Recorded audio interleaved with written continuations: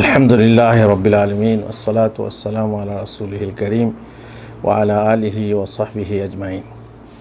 আজকে তাফসিরের দার্সে আপনাদের সামনে যেটা আলোচনা করব সেটা হচ্ছে সোরা আবাসা। সোরা আবাসা মক্কায় অবতীর্ণ হয়েছে।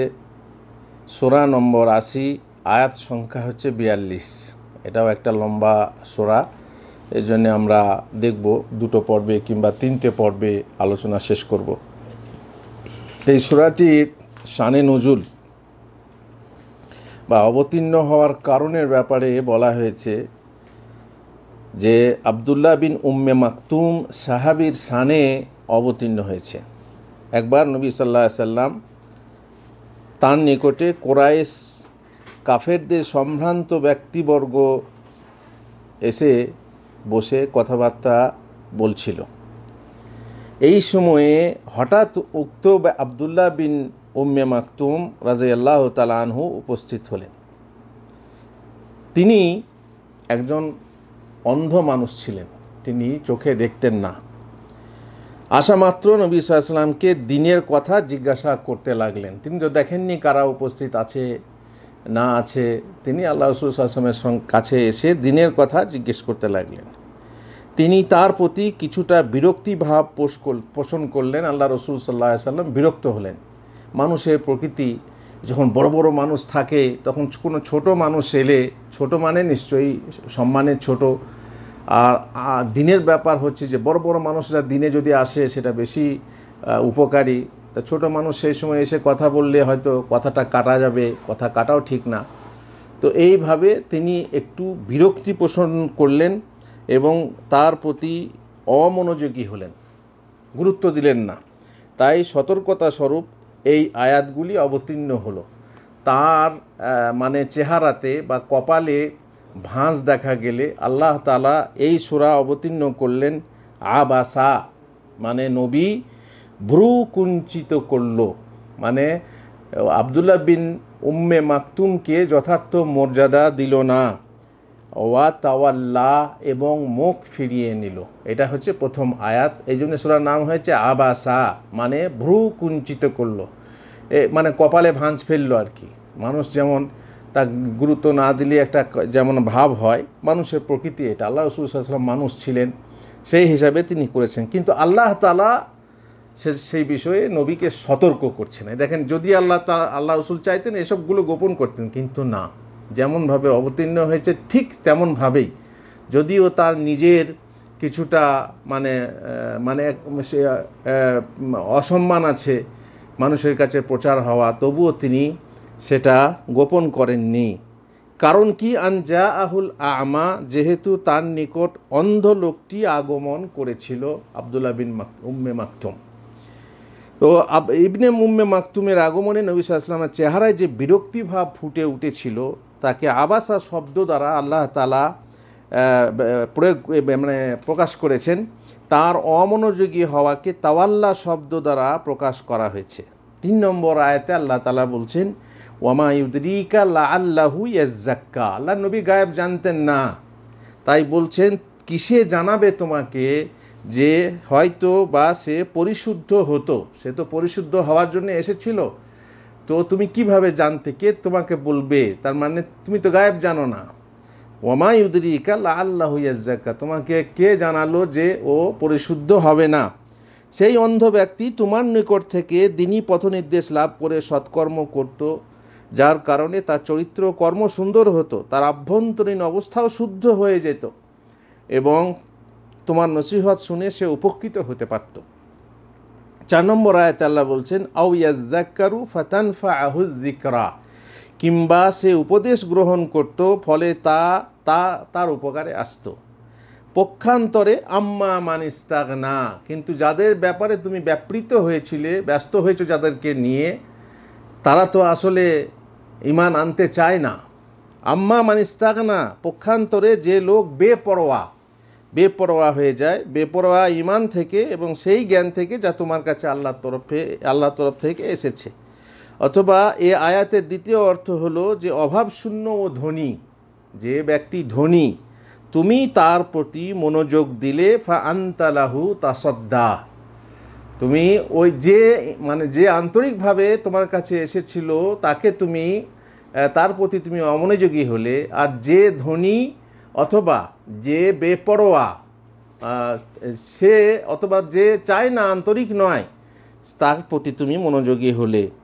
আমার তার মানে হচ্ছে এটা তোমার ঠিক হলো না। এতে নবী সাল্লামকে অধিক সতর্ক করা হয়েছে যে, বিশুদ্ধ চিত্তদেরকে ছেড়ে বৈমুখদের জন্য মনোযোগ ব্যয় করা ঠিক নয়। সাত নম্বর আয়াতে আল্লাহ বলছেন ওমা আলাইকা আল্লাহ ইয়াজ্জাক্কা অথচ সে পরিশুদ্ধ না হলে তোমার কোনো দোষ নেই। তোমার কোনো দোষ নেই, সে পরিশুদ্ধ হোক আর না হোক। কেননা তোমার কাজ তো কেবল প্রচার করা, সুতরাং এই শ্রেণির কাফেরদের পিছনে পড়ার কোনো প্রয়োজন নেই। আল্লাহ নবী জানতেন না, গায়েব জানতেন না, তিনি ভেবেছিলেন এরা যদি ইসলাম গ্রহণ করে, বেশি ভালো হবে, ইত্যাদি। সেই হিসাবে তিনি করেছিলেন, তার ইজতেহাদে হয়েছিল, কিন্তু সেটা ভুল ছিল। আল্লাহ তালা সংশোধন করে দিলেন। পক্ষান্তরে যে তোমার নিকট ছুটে এলো, আম্মা মান যা আকাইয়া সা যে তোমার কাছে ছুটে এলো, যা ইবনে উম্মে মাকতুমের কথা বলা হচ্ছে, এই আশা করে যে তুমি তাকে মঙ্গলের প্রতি পথ প্রদর্শন করবে এবং ওয়াজ নসিহত দ্বারা উপ- উপদেশ প্রদান করবে। সভয় মনে, ওয়া হুয়া একশা নয় নম্বর আয়াত, ওয়া হুয়া একশা তার মনে ভয় ভীতি ছিল। অর্থাৎ আল্লাহ ভয়ও তার হৃদয়ে ছিল, যার কারণে আশা করা যায় যে তোমার বাণী তার জন্য উপকারী হতো, আর সে তা গ্রহণ করত এবং তার উপর আমলও করত। দশ নম্বর আয়াতে আল্লাহ বলছেন, ফাআন্তা আনহু তালাহা কিন্তু তুমি তার প্রতি বিমুখ হলে। মানে সেই অন্ধের প্রতি তুমি বিমুখ হলে। অর্থাৎ এমন লোকের প্রতি কদর করা উচিত, বৈমুখ হওয়া উচিত নয়। এই সমস্ত আয়াত দ্বারা জানা যায় যে, দাওয়াত ও তাবলিগের কাছে এবার দাওয়াত ও তাবলিগের কাজে ইতর বিশেষ করা উচিত নয়। বরং মর্যাদাবান ব্যক্তি হোক, চাই অমর্যাদাবান, রাজা হোক, চাই ফকির, সর্দার হোক কিংবা গোলাম, পুরুষ হোক অথবা নারী ছোট হোক চাই বড়, সকলকেই একই মর্যাদা দান করা এবং সমষ্টিভাবে সম্বোধন করা উচিত। আল্লাহ তালা যাকে চাইবেন, নিজের হিকমত অনুযায়ী তাকে হেদায়াত করবেন। মানে মানুষের মাঝে পার্থক্য নির্বাচন করা উচিত নয়। আমরা যদিও সম্মানীকে, যদিও দিনে এ কথা আছে যে আন্নুন জেলান্না সামানা জেলাহুন যার যেমন কদর, মর্যাদা তাকে করতে হবে। আল্লাহ নবীও মর্যাদা দিয়েছেন মক্কা বিজয়ের সময়, যে নেতা ছিল তাকে নেতা করে দিয়েছেন, ইত্যাদি ইত্যাদি। তো মর্যাদা দিতে হবে। আর তার মানে এই নয়, যাদের মর্যাদা নেই তাদেরকে মানে অসম্মান করতে হবে বা তুচ্ছ করতে হবে বা তাদের প্রতি বিরক্ত হতে হবে, না তা নয়। একটা লোক তার হয়তো পজিশন একজন ডক্টর এসেছে আমার সামনে, একজন ইঞ্জিনিয়ার এসেছে, তার সঙ্গে বেশ ভালোভাবে কথা বলছি। আর একজন বালাদিয়ার, এক- কর্মচারী এসেছে বা রাস্তায় কাগজ কোড়ায় এমন লোক এসেছে, তার সাথে আমার ভালো কথা নেই তার- তার প্রতি আমি বিরক্তি প্রকাশ করছি। এটা ঠিক না। দিনের খাতিরে সবাইকে সমানভাবে সম্বোধন করতে হবে, সমানভাবে দর্শ দিতে হবে, তালিম দিতে হবে, ইত্যাদি ইত্যাদি। এখান থেকেই শিক্ষা পাওয়া যায়। এগারো নম্বর আয়াত আল্লাহ বলছেন, কাল্লা ইন্নাহা তাজকেরা। এর আগে একটা কথা বলে রাখি, দেশের কোনো কোনো ইমাম সাহেবের ব্যাপারে আছে, তারা গ্রুপবাজি করে। আর সেই গ্রুপবাজিতে যারা বড় লোক, যাদের কাছে কাজ পাওয়া যাবে, যাদের মানে লেজুর ধরে থাকলে নিজে বেশি দিন টিক, টিকতে পারবে এই গ্রামে তাদের তেল তাদের তেল মালিশ করে বা তাদের সাথে গ্রুপবাজি করে। আর যারা গরিব মানুষ তাদেরকে পরোয়া করে না, তাদের সাথে ভালো করে কথা বলে না। বড় লোকদের সাথে তার ওঠা বসা, বড় লোকদের সাথে তার ইত্যাদি, এইরকম আছে। এগুলো প্রকৃতিগত ব্যাপার, কিন্তু এটা ঠিক না। আপনি ইমাম সাহেব, একজন গরিব সাহেব ওর ইমাম সাহেব, বড় লোকেরও ইমাম সাহেব। সবারই সঙ্গে সমান ব্যবহার করবেন, আর সম্মানের খাতিরে যার যেমন সম্মান, সেটা অবশ্যই দিতে হবে। তার মানেই যার সম্মান নেই তাকে আপনি অসম্মান করবেন, এটা আপনার জন্য উচিত নয়। এটা আপনার জন্য ক্ষতিকর। আল্লাহ তালা বলছেন, কাল্লা ইন্না হাতাজ কেরা কখনো এরূপ করবে না। এটা তো উপদেশ বাণী। উপদেশ বাণী। গরিব মিসকিন ব্যক্তি দেখে মুখ ফিরিয়ে নেওয়া আর ধনবান ব্যক্তির প্রতি খাস মনোযোগ দেওয়া ঠিক নয়। এর ভাবার্থ হলো যে আগামীতে যেন পুনর্বার এরকম না ঘটে। বারো নম্বর আয়াত আল্লাহ বলছেন, ফমান শাহ আদাকারা যার ইচ্ছা হবে সে তা গ্রহণ করবে, উপদেশ গ্রহণ করবে।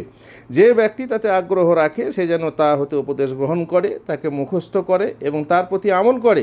আর যে তা হতে মুখ ফিরিয়ে নেয় এবং অমনোযোগিতা অমনোযোগিতা দেখায়, যেমন কোরআশদের মান্ডা করেছিল, তো তাদের ব্যাপারে চিন্তা করার প্রয়োজন নেই।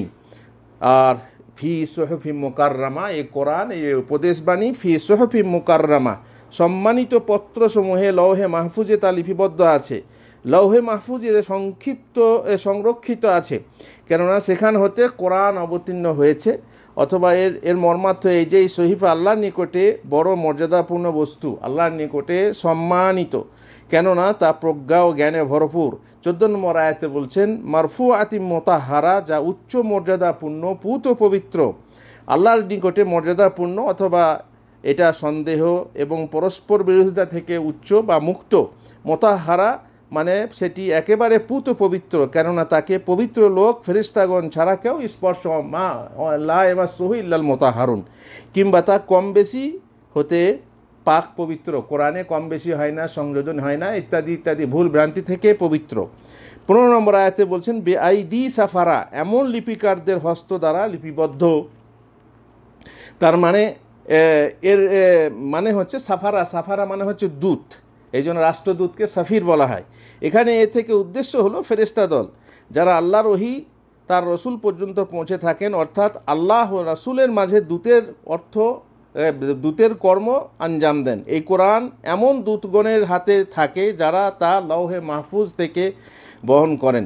কেরাম ইম বারারা সেই ফেরেস্তাদের যারা সম্মানিত ও পুণ্যবান ফেরেস্তা ফেরেস্তাদের গুণ বর্ণনা করা হয়েছে। চরিত্রের দিক থেকে তারা হলেন সম্মানিত, তাদের কোনো পাপ নেই, অর্থাৎ শ্রদ্ধেয় এবং বুজুর্গ। আর কর্মের দিক থেকে তারা পুণ্যবান ও পবিত্র। এখান থেকে জানা যায় যে কোরআন বহনকারী হাফেজ এবং আলেমগণ কেউ চরিত্রবান হতে হবে। কর্মের দিক থেকে কেরামিন বারারা মূর্খ মূর্খ মা কি বলে? মূর্খ হওয়া থেকে দূরে থাকতে হবে এবং কেরামিম বারারার মূর্ত প্রতীক হতে হবে। তাদের তাদের চরিত্র গ্রহণ করতে হবে।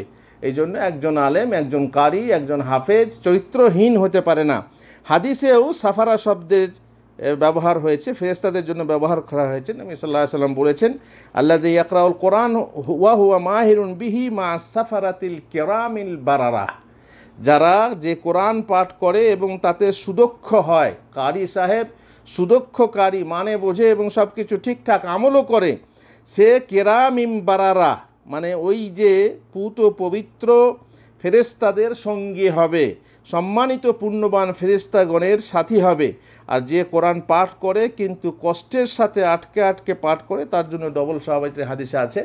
তো আল্লাহ তালা আমাদেরকে তৌফিক দেন বোঝার। এখানে আজকের মানে এতে ভালো শিক্ষা আছে।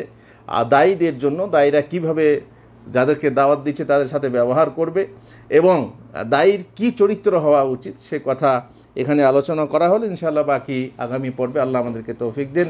ও সাল্লাহ নবীন মোহাম্মদ আলা ও ওসহবিহি আজমাইন।